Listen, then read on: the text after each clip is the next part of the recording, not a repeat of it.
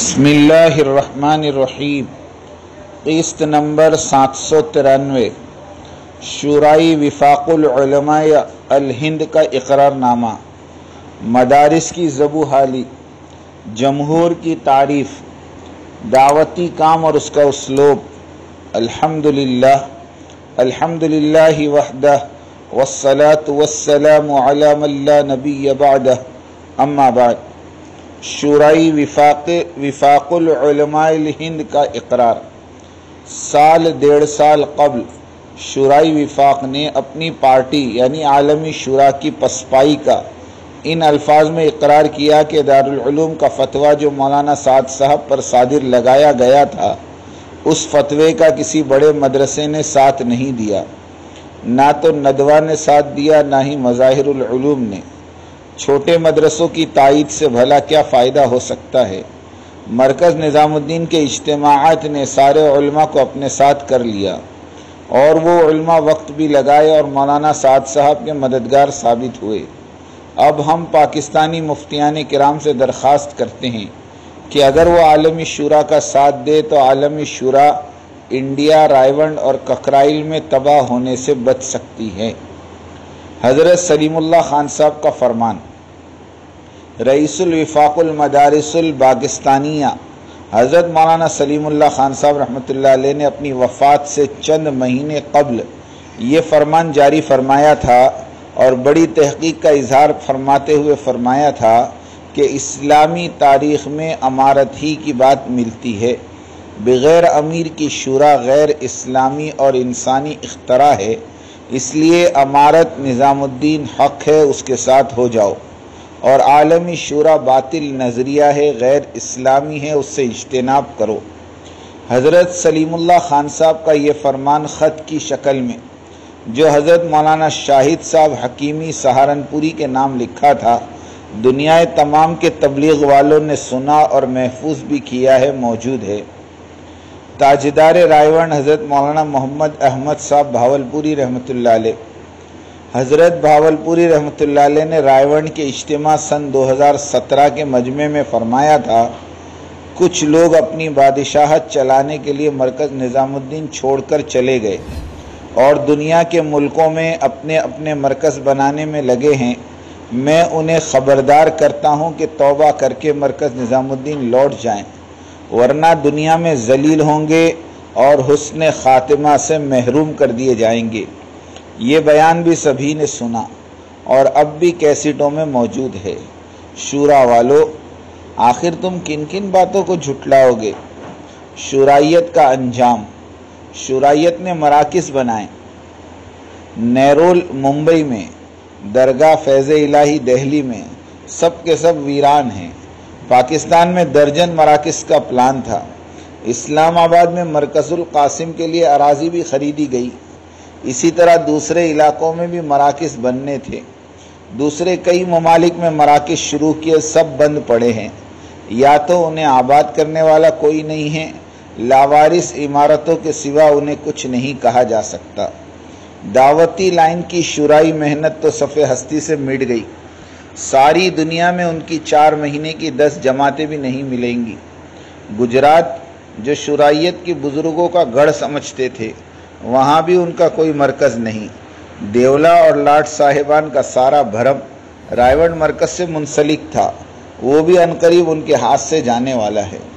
اب ایک محنت شورا والوں کی رہ گئی ہے کہ امارت والوں کی دعوتی محنت میں رخ نہ ڈالنا، امارت کے جوڑ اور اجتماع میں گنڈا گردی کرنا، قانونی محکموں کو غلط خبریں مہیا کر کے معصوم امارتی تبلیغیوں کو ہراساں کرنا اور صلاحوں کے پیچھے ڈھکیلنا۔ اب سب کچھ کر کے دیکھ لیا، کہیں کامیابی نہیں ملی۔ تو سیدھے سادے علماء جنہیں تبلیغ کی علیب بات کا بھی پتہ نہیں، انہیں استعمال کرنا شروع کر دیا۔ ابھی چند دن پہلے اسلام آباد میں گنتی کے چند علماء اکٹھے ہوئے۔ ایک مولوی صاحب اپنی تقریر میں فرما رہے ہیں کہ جمہور کا ساتھ دینا عین اسلام ہے۔ اس لیے ہم مرکز رائیونڈ کا ساتھ دینے کا اقرار کرتے ہیں۔ فائدہ۔ ان مولوی صاحب کو جمہور کی جیم کا بھی پتہ نہیں۔ پاکستان کی مٹھی بھر مسلمانوں کی تعداد کو جمہور کا نام دے دیا۔ جمہور تو امت مسلمہ کا ایک ایسا بحر بے کرا ہیں جس کے کنارے سارے عالم کو اپنے اندر سمیٹے ہوئے ہیں۔ دعوت و تبلیغ کا کام سارے جہاں میں ہوتا ہے۔ ڈیڑھ سو کروڑ سے زیادہ لوگ اس کام سے منسلک ہیں۔ ان میں سے بمشکل آدھا فیصد بھی شرائط سے منسلک نہیں ہے۔ ساڑھے ننانوے فیصد مسلمان دعوتی مرکز مرکز نظام الدین کے ساتھ منسلک ہیں۔ اس لیے کہ مرکز نظام الدین والی امارت والی تبلیغ کتاب اور سنت اور سیرت طیبہ کے عین مطابق ہے، جس کی وجہ سے اللہ تعالیٰ اسے دن رات ترقی عطا فرما رہے ہیں۔ پاکستان میں تو ابھی اٹھارہ مہینے ہوئے ہیں۔ اس امارت والی تبلیغ کو شروع ہوئے۔ لیکن نتیجہ یہ سامنے آیا کہ ستاون مقامات پر شب جمعہ وجود میں آ گئی۔ عوام دل اور جان سے کھینچ کھینچ کر امارت والی ترتیب پر آ رہے ہیں۔ اس ملک میں نہیں بلکہ ساری دنیا کا یہی حال ہے۔ یہ دنیا کی ریت ہے کہ جب رائے والوں نے دیکھ لیا کہ ان کی دعوت میں، دعا میں، للہیت میں کوئی جان باقی نہیں رہی، تو پھر علاقوں میں جا جا کر عوام کو سمجھا کر، ڈرا کر سب کچھ کر کر کے مایوس جب ہوئے تو دہشت گردی پر اتر آئے۔ مار دھاڑ کی پالیسی اختیار کی۔ خوب پیسہ روپیہ لٹایا اس کام پر اور آخر میں علماء کو بھی نہیں چھوڑا اور مدارس کو بھی داؤ پر لگا دیا۔ دارالعلوم کا فتویٰ اور دینی مدارس کی زبو حالی۔ ہمیں بارہ صفحات کا خط مدارس کے علماء کرام کی طرف سے موصول ہوا، جس میں شکایت درج تھی کہ عوام مدارس کی طرف توجہ نہیں دے رہے ہیں۔ اور نہ ہی خدمت کر رہے ہیں اور علماء کو بھی شک کی نگاہ سے دیکھتے ہیں۔ ان کا بھی قصور نہیں ہے۔ اس لیے کہ انہیں سرات مستقیم پر لانے والے تبلیغ والے ہیں۔ اس لیے وہ تبلیغ والوں ہی کی سنتے ہیں۔ اگر علماء ان پر محنت کر کے ہدایت کے راستے پہ ڈالتے تو یہ عوام علماء کی سنتی۔ اب اس عوام کے تعاون کے بغیر ہمارے مدارس کیسے چلیں؟ عوام کو علماء کا اور دینی تعلیم کا ادب کرنا چاہیے۔ اس عنوان پر بہت سی آیات اور احادیث بطور صنعت پیش فرمائی ہم نے وفاق کو مشورتاً عرض کیا اور لکھا، السلام علیکم۔ اللہ تعالیٰ آپ احباب کی کاوشوں کو قبول فرمائیں آپ نے بہت اچھا مضمون بارہ صفحات کا قلم بند فرمایا۔ اللہ کرے یہ مضمون سب پڑھے اور صحیح فکر فرمائیں بندے کی التجا ہے کہ کروڑوں عوام کو سمجھانا بہت مشکل کام ہے۔ درجن بر اکابر علماء کرام اس بات کو اپنا لے تو مسئلہ ایک گھنٹے کے اندر حل ہو سکتا ہے۔ ہمارا مطلب اوپری درجے کے اکابر علماء کرام ہیں۔ مثلا حضرت مفتی ابو القاسم صاحب نعمانی، حضرت مولانا ارشد صاحب مدنی وغیرہ۔ اگر یہ اعلان فرما دے کہ دارالعلوم اور مرکز نظام الدین کے ذمہ داروں کے درمیان کوئی خلش کوئی خلش اور شکوہ باقی نہیں ہے۔ ہم ایک دوسرے کے خیر خواہ ہیں۔ شروع سے ہی ہم شیر و شکر کی طرح مل کر تعلیمی اور تبلیغی کام کو انجام دیتے آ رہے ہیں۔ اور تا قیامت دیتے رہیں گے انشاءاللہ۔ عوام سے گزارش ہے کہ وہ تبلیغ اور تعلیم کی اسی طرح سے سرپرستی فرماتے رہیں۔ جس طرح سو ڈیڑھ سو سال سے تعلیم و تبلیغ کی سرپرستی فرماتے آ رہے ہیں۔ رہا تعلیمی اور تبلیغی خدمات کی ادائیگی میں انتظامی اور نظریاتی اختلاف تو انہیں اس ادارے کے ذمہ داروں پر چھوڑ دیجیے۔ وہ بہتر طریقے پر اپنے اندرونی اختلافات کو دور کر لیں گے۔ تعلیمی اختلافات کو تعلیمی ادارے دور کریں گے اور تبلیغی اختلافات کو تبلیغی احباب مل بیٹھ کر دور کر لیں گے۔ بھول کر بھی تعلیم والے تبلیغ والوں کے مسائل میں اور تبلیغ والے تعلیم والوں کے مسائل میں مداخلت نہ کرے۔ مگر دارالعلوم دیوبند کے مفتی ابوالقاسم نعمانی صاحب اور مولانا ارشد مدنی صاحب نے اس معاملے میں عجلت بازی کی اور کسی کے پوچھنے پر فوراً مولانا سعد صاحب کے خلاف فتویٰ جاری کر دیا اور مولانا ارشد مدنی نے تبصرے شروع کر دیے اور فرما دیا کہ مولوی سعد صاحب کی تربیت نہیں ہوئی ہے، وہ بچہ ہے، اس کا علم کچا ہے اور مولوی سعد رائے میں بنائی گئی عالمی شورا کو قبول کر لے تو ایک گھنٹے میں یہ امارتی اور شورائی جھگڑا ساری دنیا سے ختم کر دیں گے۔ جب مولانا صاحب صاحب نے اپنی تقریروں کے مراج دارالعلوم کو پیش کیے، تو مولانا ارشد مدنی دامت و برکاتم نے فرمایا کہ رجوع نامے اور مراجے تو آتے جاتے رہیں گے۔ ان کی کوئی اہمیت نہیں ہے۔ سنو مولوی سعد صاحب جب تک عالمی شورا کو تسلیم نہیں کریں گے، اس وقت تک رجوع اور مراجے کا کوئی فائدہ نہیں۔ اور مفتی ابوالقاسم صاحب نعمانی دامت و برکاتم نے بنگلہ دیشی علماء کے وفد کو چٹی لکھ کر دیا کہ اسے اپنے ملک کے ہوم منسٹر کو دیجیے۔ اور اس خط میں لکھا کہ اپنے ملک کی عوام کو مولیسات سے بچاؤ۔ ان کے نظریات سے دارالعلوم مطمئن نہیں ہیں۔ ان بزرگوں کی آڈیو کیسٹ ساری دنیا نے سنی۔ پھر کیا ہوا بنگلہ دیش میں؟ اسے دنیا نے دیکھا۔ ہم نے قسط نمبر پانچ سو ایک سے پانچ سو پچپن میں فتووں اور خطوط کا تعاقب کیا اور آداب اور اصول فتویٰ لکھ کر پیش کیا۔ جب دنیا کے علماء اور خواص اور عوام نے دارالعلوم اور سرپرستان دارالعلوم سے پوچھنا شروع کیا تو دارالعلوم والوں کو جواب دینا دشوار ہو گیا۔ ہر دن بیانات بدلتے رہتے تھے۔ یہ کیسٹس موجود ہے بالآخر دارالعلوم نے شورائیت کی تائید چھوڑ کر اعلان کیا کہ دارالعلوم امارت اور شورا کے اختلافات میں غیر جانبداری کا اعلان کرتا ہے۔ اگر شروع دن سے ہی غیر جانبداری برتی جاتی تو یہ نوبت ہی نہیں آتی۔ اور عوام اس قدر متنفر ہی نہیں ہوتے۔ خیر، دیری ہی صحیح، لیکن کرونا کی وبا اور بیرون ہند کی جماعتوں کے تین ہزار سے زیادہ احباب جو بے قصور جیلوں میں سال سال گزار دیے، تو ان کی رہائی کے لیے رات دن کوششوں میں لگے رہنے کا شرف اللہ نے جسے بخشا، وہ ہے مولانا سید ارشد مدنی دامت و برکاتہم اور ان کے رفقا۔ اللہ تعالیٰ ساری تبلیغی دنیا کی طرف سے حضرت مدنی اور ان کے رفقا کو اپنے شایان شان اجر جزیل عطا فرمائیں۔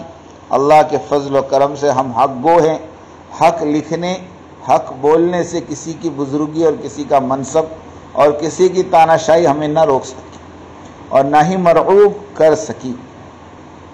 ہمارے استاد محترم شیخ مبارک ابن سعید با شافی الحضرمی رحمۃ اللہ علیہ کی یہی نصیحت رہتی تھی کہ دینی معاملے میں حق پر ڈٹ جاؤ، کٹ جاؤ، حق بولتے ہوئے تم ایک کٹو گے تو ہزاروں پر حق واضح ہوگا اور ہزاروں کو دینی فائدہ ہوگا اور دین اصلی حالت پر باقی رہے گا۔ اگر اپنی ذاتی مفادات کی خاطر حق گوئی چھوڑ کر مداحنت اختیار کر لی، تو تجھے وہی ملے گا جو تیری قسمت میں لکھا ہوا ہے۔ مگر ہزاروں لوگوں کو دینی تذبذب کے اندھیرے میں چھوڑنے کا گناہ تیرے سر پڑے گا، یاد رکھ۔ قول حق ہوگا یا باطل، درمیان میں کوئی اور جگہ نہیں ہے۔ اور اگر جگہ ہے بھی تو وہ ہے صرف کتمان حق۔ اور کتمان حق تو خالص یہودیت اور مداحنت کا نام ہے۔ یاد رکھ، مشرکان رسوم و بدعات کے عروج کے ذمہ دار صرف اس وقت کے مفتیان عظام اور علماء کرام کی مصالحت اور مداحنت اور دنیا طلبی اور حب جاہ کے سوا اور کچھ نہیں۔ انہی شقی انسانوں کو کلاب اہل النار یعنی جہنم کے کتے کہا گیا ہے۔ اس لیے کہ یہ علماء انبیاء کے وارث ہے اور انبیاء مداحین ہرگز نہیں ہوتے۔ قسط لمبی ہے مگر سبق آموز ہے۔ اپنے مدارس اور سیاست کو الجھنوں میں مت ڈالو۔ تبلیغ اور دعوت کے کام سے مت ٹکراؤ۔ اب اس کام میں بڑے بڑے ترقی یافتہ اور تعلیم یافتہ اور اللہ سے تعلق رکھنے والے لوگوں کی ایسی کثرت ہے کہ اگر وہ کسی بات کو ٹھان لینا تو اللہ ان کی مرادوں کو آنے واحد میں پوری کر کے دکھا دے۔ خطرہ اور تباہی تو اس تبلیغی کے لیے ہے جو بجائے امتی بننے کے قوم، لسان اور علاقے کا بننے کو ترجیح دے اور وہ اپنی قربانیوں سے اللہ کے بجائے بڑوں کی قربت کا دل دادا ہو۔ خاتم المرسلین کا جب مبارکہ اویس کرنی کو نصیب ہوا۔ محض اس عمل پر کہ انہوں نے حضور کے حکم پر حضور کی قربت اور درج صحابیت کو قربان کیا۔